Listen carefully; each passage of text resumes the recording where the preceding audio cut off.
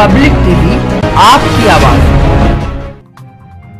नगर निगम के द्वारा फल हटाने के बाद फल स्वामियों की रोजी रोटी के लाले पड़ने लगे हैं। इसी समस्या को लेकर एक सभा का आयोजन कटरा नाज स्थित उत्तर प्रदेश उद्योग व्यापार प्रतिनिधि मंडलों के कार्यालय पर किया गया, जिसमें फ़ूड पैरी वेलफेयर एसोसिएशन के सदस्यों ने भी भाग लिया। इस विषय पर चर्चा की गई और टाउन हॉल पर लगने वाले फड़ स्वामियों को शीघ्र स्थान दिलाए जाने की मांग की गई। कहा गया कि स्थान उपलब्ध कराने के बाद उनकी रोजी रोटी पर किसी भी प्रकार का संकट उत्पन्न न हो। पूर्व में भी ये निश्चय किया गया था कि फ़ूड वेलफेयर एसोसिएशन के सदस्यों को एकता द्वार से गांधी पार्क तक व्यवस्थित किया जाएगा। सभी 126 सदस्यों को एक समान स्थान दिए जाने की मांग की गई और किसी के साथ भी नाइंसाफी की बात हुई। सभा में जिलाध्यक्ष दीपक अग्रवाल ने कहा कि किसी भी व्यापारी का उत्पीड़न बर्दाश्त नहीं किया जाएगा। सभा में चेयरमैन नरेश अग्रवाल ने भी अपने विचार रखते हुए कहा कि किसी की रोजी रोटी नहीं छीनी जाएगी। सभा में कमल कुमार, जयदेव सिंह, स्वराज सिंह, फहीम भाई, रईस, आसिफ अली, दिलीप छावड़ा शेखर कश्यप, कोमल,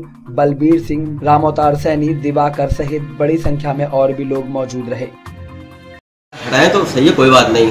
लेकिन हमारी जो बीजेपी की गवर्नमेंट चाहती है, वो दो तीन साल से ये चाहती है जब से हमारे मोदी जी आए हैं कि एक वेंडर कमेटी उन्होंने बनाई है और वेंडर कमेटी में उन्होंने ये तय करा है कि जो भी फल लग रही है टाउन हॉल पे, ये फल लगेंगी कंपनी बाग में, गांधी मूर्ति तक। और जो भी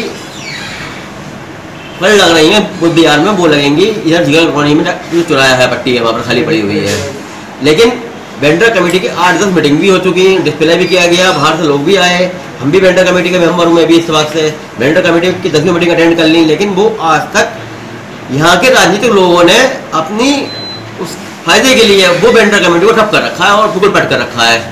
अब सोचना यह है कि अगर, चलो, हम सौ दुकानदारों को हटाते हैं तो सौ दुकानदारों का मतलब है कि करीब एक हज़ार लोग उससे बेघर हो जाएँगे जिनके पाँच बच्चे हैं, वाइफ है, परिवार है, माँ बाप हैं। तो सबसे पहले ये सोचना चाहिए यहाँ के राजनीतिक लोगों को और महापौर जी को कि उन लोगों का व्यापार का क्या होगा उन लोगों का घर कैसे चलेगा? और क्यों नहीं वेंडर कमेटी का जब ऊपर से आदेश आ चुके हैं सेंट्रल गवर्नमेंट से पैसा आ चुका है तो क्यों नहीं उसका अमल करते? तो ये लोग हमारे पास सहायता के लिए आए और मैंने इनको आश्वासन दिया कि हम हर तरह से इनकी मदद करेंगे।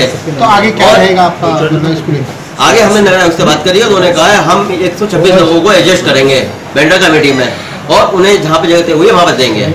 और उसके लिए हम कल शाम को उन्होंने हमें टाइम दिया हम कल शाम को उनसे मिलेंगे पहले। नहीं होगा तो उसके लिए तो भैया जो किसी के परिवार पे आती है किसी पे किसी के जिसम पे आती है तो हर चीज़ वो करने को तैयार रहता है।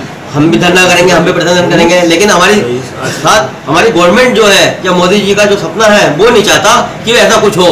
इसलिए उन्होंने वेंडर कमेटी का गठन करा है।